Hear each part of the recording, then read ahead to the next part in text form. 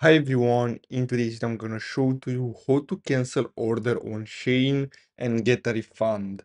So the first step is to simply tap on me, then you'll have to simply go to your orders and then you'll simply have to tap on the order you want to cancel and then simply tap on cancel order and that's all.